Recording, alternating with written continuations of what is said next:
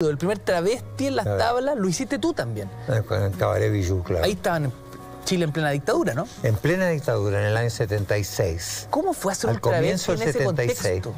Bueno, quedó la tendalá, pues, porque imagínate que en ese tiempo nadie había hecho travesti en el teatro. O sea, ver a un hombre vestido de mujer era algo prohibido. Y yo me veía como una mina, era una mina. Rica. Sí, con unas piernas salvajes, una cintura así. Y bueno, tenía. Nalgas de- nalgas acero. Hartos años menos tenía. tenía hartos años menos y bailaba con unos tacos de este calado. Y, y bailaba y cantaba y yo, toda la historia. ¿Y cómo reaccionó a la socialité de la época? No la socialité de la época quedaron. Me acuerdo que el Mercurio puso la página de atrás del Mercurio entera, decía, entre zorros, chinchillas y conejos, se estrenó anoche el Teatro Hollywood. Zorro, chinchilla y conejo. Y conejo. Ah, pero ¿por qué? Por las Porque- pieles. Claro, porque habían pieles muy caras, pieles menos caras y pieles muy baratas. Claro. O sea, estaba toda la sociedad chilena mezclada. Y eso, eso fue fantástico porque el Hollywood tenía 600 butacas y se llenaba de martes a domingo, Qué increíble. todos los días.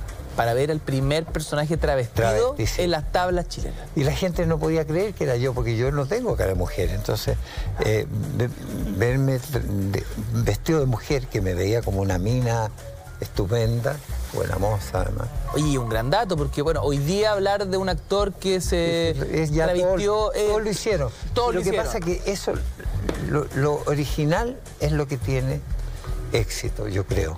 Y, lo voy a, asegurar siempre. Toda cosa que sea original, fijo que tiene suerte y que tiene éxito. Pero tiene que ser original. Y los viejos de mierda tienen eso. Tiene una cosa que es. Nadie la hizo antes nomás. ¿Por qué no la hicieron antes? Porque no se les ocurrió antes. ¿Y por qué le pusieron viejos de mierda? Y, y le íbamos a poner una cosa peor todavía. ¿Qué le iban a poner? No, Dime, dime, dime. viejos culiados. Pero, pero, Viejo culiao. Entonces- Dijeron, no, esto no... pero no nos, van a, no nos van a querer poner los avisos. Claro. En el Mercurio no nos van a querer poner los avisos. Pero entonces, por eso Así que de mierda, más suave. Entonces, pero fue un título que mató, pues arrasó con todo, porque... Oye, nos pusimos a investigar en, en internet, o sea, que en internet está de todo. Encontramos una foto, así que confírmanos si es esta foto de Tomás travestido. Mira, es eso, ¿no? Sí. Ahí está. ¿Qué me decía? Oye, la mía, dime en verdad. Y ese, ese que está al lado es Eduardo Estañaro, que hacía de enano.